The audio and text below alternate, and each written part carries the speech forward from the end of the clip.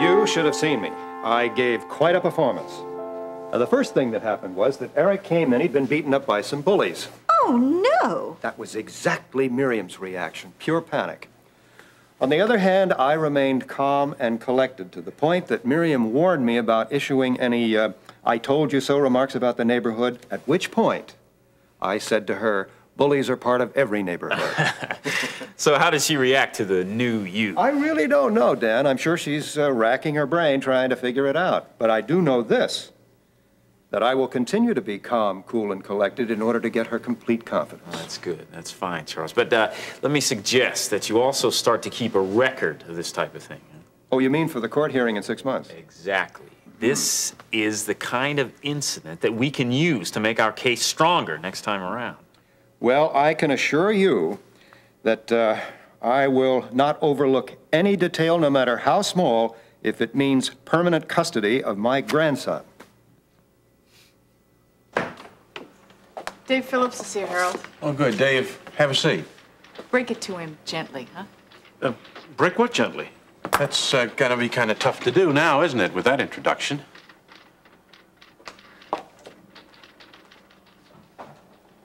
Your trial date's been set. Well, when is it? A week from this coming Monday.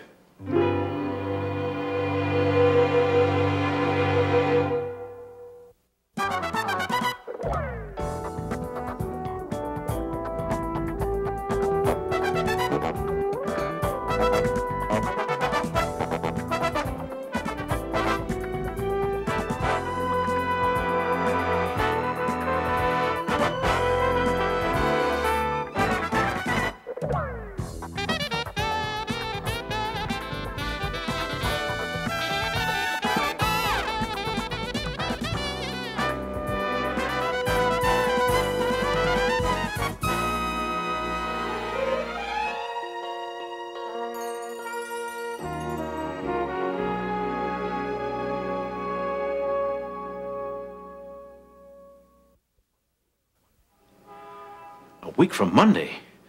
That doesn't give us much time to prepare, does it? No, but I've uh, stepped up my investigation. How's it going? Right now, not so good, I'm afraid. Well, gee, I, I wish I could help, Harold, but I just can't remember. I've racked my brain, but I still don't know why or how I, I got outside of Amber's apartment the night of the murder. I know. There's really not any point in trying to remember anymore. You mean you're giving up? Oh, no, no, far from it. I'm just changing my approach. See, Dave, if we can't prove that you didn't kill Kate, our next best shot is to, uh, in addition to building up your good character in court, see if we can point the finger at other possible suspects. Yes, but I'm the only one who's been accused. That may be so, but you're not the only one with motive and opportunity, and I think I can prove that. Enough to keep the jury from convicting me? What we have to do is raise a reasonable doubt. That's all. If it takes some finger pointing to do that, let's do it. I've got my detective working on it. He's come up with a clear, unidentified set of fingerprints. Came off the panic bar on the outside door exit, uh, the back door to Amber's apartment. Yeah. How you knows it may not mean anything, but it could. Yes, but anybody could have touched that bar.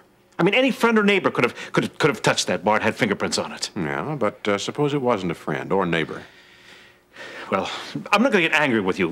Whatever you whatever you say, Howard, I, I won't be angry. Are you feeling okay? Everything? Now, look, don't give me this I'm doing fine routine.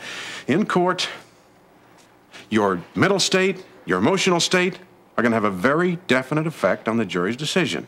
We want them to see you as calm, as relaxed, concerned naturally, but with a clear conscience. The pressures of the courtroom will amplify any doubts you may have way out of proportion. Well, it hasn't been easy. But maybe it's a good sign I slept through the night. At least without waking up in a cold sweat. And there was a, well, without the sense of isolation. That's good. Well, maybe it was talking to Terry that did it. You know, she gives you a sense of clear perspective. I guarantee you she's praying for you, too. Uh, Charles, before you put that away, there's one more bit of information that I think might be helpful later on. About Miriam? About Miriam and Babs Farley, both. I'm listening.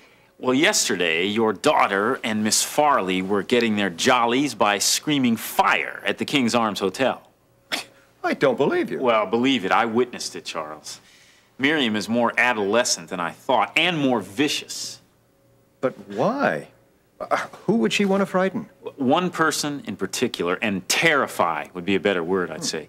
See, not only were they yelling fire in the second floor hallway of the hotel, but they kept the door closed on the object of their little practical joke, hoping to cause her to scream. Astonishing. Also illegal, Mrs. Lucas. Again, I ask why. I, where did you hear this? Well, you see, Nancy Lawson is a client. of Wait a minute. She, Nancy Lawson is a client of yours? that's right. I'm representing her in a malpractice suit. You are not serious. I certainly am. Why do you say that? Well, you have made one terrible mistake. You stay away from that woman. Oh, so you've met. I- Met! I almost married her. You marry? Oh, now Nancy uh, never mentioned anything about that to me. No, and don't you tell anybody else either. Let me tell you something. That is as close as I ever want to come to being taken over completely. She was just after Mr. Carpenter's money. Dan, she wormed her way into my life, took advantage of my affections. Came right at a time when I was being estranged from my first wife. She moved in here, and when I finally asked her to leave, she contrived to fall down those stairs and fake a paralysis of her legs. Did she sue you for damages? Well, it was much worse than that. She wanted me to marry her. Laugh if you want to, but I warn you that woman is poison. Look, don't worry, Charles. I know all about Nancy Lawson. It's her greed that makes her such a good client. Mm-hmm. You mentioned a moment ago that she's suing somebody for malpractice. Who is it? Oh, I'm sure you've heard of him, uh, Dr. Ben Martin. Ben Martin? yes, I have heard of him. Well, you seem pleased. Well, if Nancy can get something a little extra out of any member of the Davidson clan, more power to her. It's about time somebody punched a hole in that sanctimonious attitude of theirs. Now, unless the intruder was surprised and, uh, and, and scared away, there's no reason to think that the motive was theft. The police certainly don't think so. So, I'm going to present to them some alternate suspects. Gil Prescott, for one. Oh, no. I don't see that. Kate knew about Amber's abortion. She told Gil about it that night. Yes, but that wouldn't provoke him to turn on her. Even if he thought that Kate actually encouraged Amber to abort his child? When Brubaker first questioned him, he lied about having talked to Kate. And then there's Lee Carruthers, the man most likely to succeed, especially since his wife's death. Did you happen to notice in the newspaper how he's taken a big jump in the polls since then? No, I haven't, but. Uh, He has. Seems like all the undecided voters have gone over to his side in sympathy. But it's ridiculous to assume that he'd do it. You told me that when you and Lee were both courting Kate, he tried to bribe you, kind of romantic hush money. Yes, he offered me money to, to stay away from her. Well, doesn't it follow then that uh, if a man is ambitious and callous enough to offer money to protect his romantic investments, that, that he's going to maybe kill to protect his political interests? No, I don't think so. As much as I dislike the man, I don't think he'd do it. Even if his brand new wife, shortly before the election, was about to announce that the marriage was going to break up? Yes, but you can't prove that. No, I can't. But we're going to unravel this mystery one way or another. Now, I might not have the proof right now, but I've got a nagging suspicion that things weren't all that great between Lee and Kate. And if I can raise a reasonable doubt in the minds of the jurors by pointing up that fact, then I've got to use it. Well, uh, you keep me posted? Sure, I will. And look, I, I want you to keep trying to think about uh, other people that were uh, involved with Kate. Uh, uh, people who may have had jealousies or rivals, any connection at all. Right. I'll do my best. Good. I will too. Well, you. You bet. They were trying to make me yell so that they could prove my voice was working. Oh. And you were trying to open the door. Yes. I was never so scared in my life. Oh, That's why they didn't tell me. Huh? And they'll wish they never even thought of it by the time I get through with them. Sweetheart, don't you cry now. I know how it is when folks hurt you. It's, it's not just that, you know. Dan's told me that I'm never going to be able to speak again to sound normal. Well, how, how's that? I, I don't think I've ever read anywhere where a person has to be a, have an affliction all of their lives. Yeah, but listen to me. I mean, I sound like a frog. I mean, worse than a frog. At least you can hear him. Well, I hear you just fine, honey, and so does the Lord. Why don't you just tell him how you feel and ask him to heal that broken voice box of yours? Well, what's the matter? Don't you think he can handle a little job like that? Not for me. Oh, since when have you been the exception to the rule? I've just done so many bad things. Oh, well, sweetheart, I know you've done a few bad things in your life, but haven't we all? I think there's a verse in the Bible that says, He who is forgiven much will love much. No, I, can't. Oh, Why don't you just come on back home with me, Nancy? No, I, I don't want to see Babs and Miriam again. Oh, well, I can understand that, sweetheart. But just let me tell you something. Right now, those two are feeling very sorry for themselves. But I'm sure what they did, they thought they were doing to help Ben Martin. Yeah, I I'm, I'm not faking it. I know you're not, sweetheart, and that's what's probably making them feel even worse about it. But can't you see what they were getting at? Now, I'm not saying what they did was right. But you know, a malpractice suit is a pretty serious thing. And you must admit, Nancy, that you have lied on more than one occasion to get what you wanted. Why don't you just come on back to the house with me, sweetheart? I'll see if I can't talk to those two and maybe... Well, why don't you just think about it, huh? Okay? Ione, don't go, please. Don't go.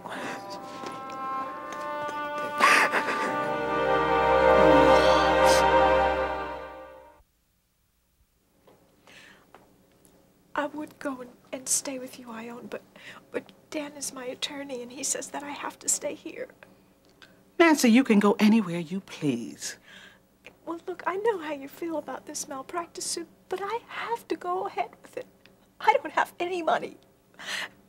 I can't even get a job like this. Well, now who says so? There might be some brand new opportunity opening up for you, something that you hadn't even thought about. You know, God may be just using this little setback of yours as a way to point you toward it. You know, He's got a real regular way of turning bad into good. That is when we put our trust in His hands. I don't want to sue Ben. Well, why are you doing it, sweetheart? Well, I know he saved my life, but but he left all these awful scars. I Oh. don't. Why don't you look at those scars as a kind of reminder that you're alive and not dead? Look, I don't know what I want to do. Well, Ben knew what he did when he what what to do when he rescued you, honey. I mean, you know, he's a he's a good doctor and surgeon. And he used good judgment when he pulled you out of that smashed car, or else you wouldn't be here today.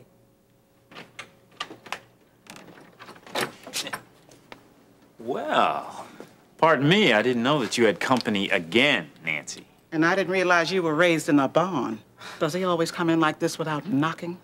Oh well, he has the key. Yes, just in case Nancy's unable to get up.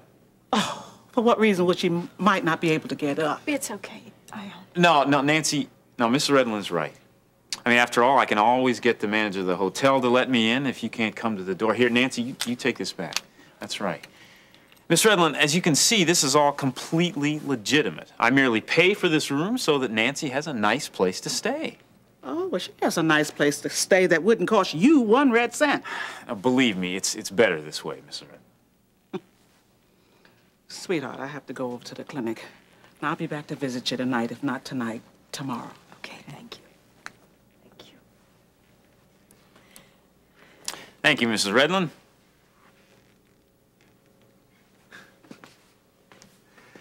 Oh, she is quite a character, isn't she? the key, Nancy. Ah. Dan, did you come about some news about the case? Uh, no, no. As a matter of fact, I just uh, came by because I thought that we might spend some time together. That's all right, isn't it? Yeah, I guess so. Good. Uh, these are for you. sweetheart. So, uh, what's up? Vicky and I are gonna tie the knot. Yeah, you've been saying that for the past few weeks, but uh, that's against my better advice. I didn't tell you when. And I'm supposed to ask when, right? That's right. No, this afternoon. Please tell me you're kidding. I'm not kidding. That's why I cut my hair. no, we found this justice of the peace up in Perrysville, right? He, he, he does the ceremony, no wait, fills out the license, voila. Gee, Peter, it sounds super romantic. What's more romantic than eloping? Your mother doesn't know about it then. Nobody knows. You better tell her, Peter. I'll tell her after the ceremony. She's gonna love that. Well, I figure. Look, she doesn't agree with the engagement thing.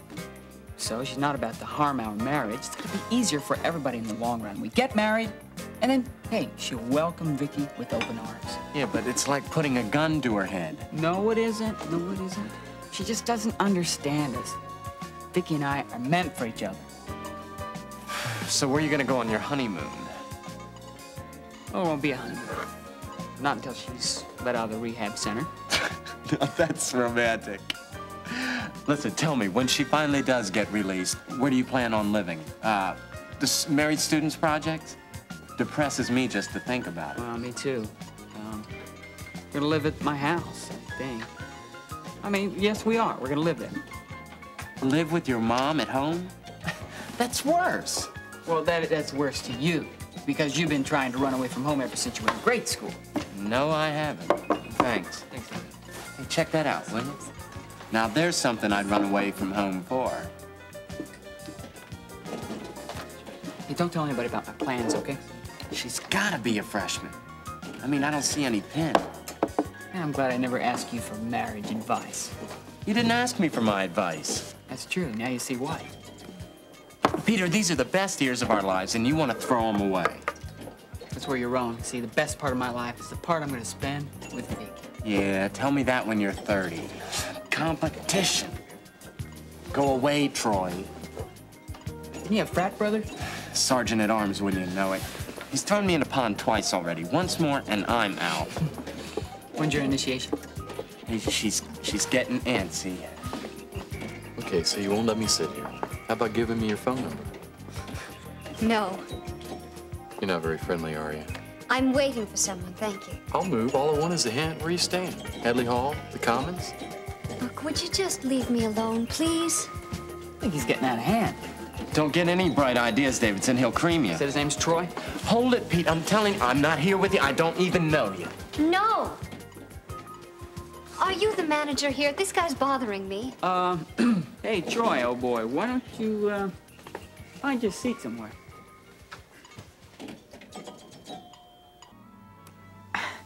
Oh, look, I better put these in some And- and- water. Nancy, wait. Now listen to me. Don't be ashamed of how you look. Now, I know that those butchers put you through a lot, but they can't destroy the tender, loving woman that you are. All right. Go put them in some water if you like.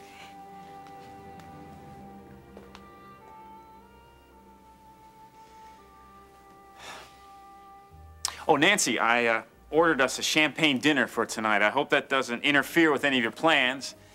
I uh, thought we might just stay here in the room. I, I don't imagine Mrs. Redland will be coming back to visit us, will she? No, no, I don't think so. I, I had to just put them in the sink because uh, I don't have anything. Oh, oh, well, I'll have them bring up a vase later so we can set off our flowers.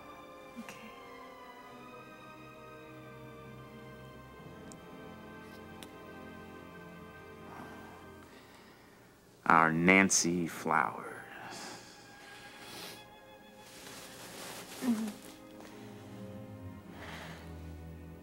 How do you know me? Uh, everybody knows Troy. This isn't what you're waiting for, is it? Yeah, I am. And, uh, you can tell, obviously, she can't wait for you to leave. No kidding. This is the one, huh? Yeah, I am, buddy, and uh, I'm not gonna say it again. You're not, huh? She's not worth it. Thanks a lot, really. Guy's a jerk. Are you the manager of this place? No, no, I'm just sitting over here with uh, my ex-friend. I guess he couldn't wait around. Well, I'm Courtney, and you can sit here if you like. No, no, that's okay. Uh, I bet that's my order right there. What'd you say your name was? Courtney. Courtney. Pete Davidson. You want to join us? Sure. All right. Well, uh, I guess Gary couldn't wait. Hey, who was that jock anyway? I didn't know him. I don't know. Some frat brother of Gary's. Well, I'm impressed. Oh, with Troy? No, with you. Nothing really. Oh, it was nothing really. Uh, French fry? Thank you. Are you a freshman? Yeah, I guess it's kind of obvious, isn't it? Not really. I just haven't seen you around, you know. Where are you from? Well, I am new in Kingsley, that's for sure. Well, it's not that bad a place. You'll get used to it. I'm a Kingsley native. Peter Davidson from Kingsley. Hey, who'd you take for freshman comp? First term. Fiedler. Oh, I have Ragland. Well, well. Yeah, What have we here? Uh, this is Gary Courtney. Hi, Gary. Uh, last name? Just Courtney is okay. Oh, hello, Courtney. Welcome to the village. Thank you. So Peter's been telling me that you're a friend of that gorilla that was hassling me before. Well, uh, not not really a friend. Well, uh, we just like, uh, well, we live in the same house. I, I hardly even know him.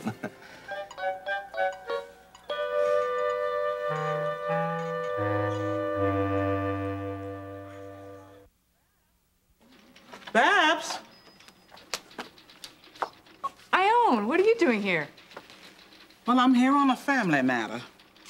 Is Harold around anywhere? Oh, no, he had to go down to the uh, courthouse and then stop by the police department, something about Dave Phillips. Tell me what you need him for, and I'll have him call you as soon as he gets back. Oh, don't bother to call Harold. I'm here to see you and you alone. Oh, really? Yes. Does the word fire ring a bell by any chance?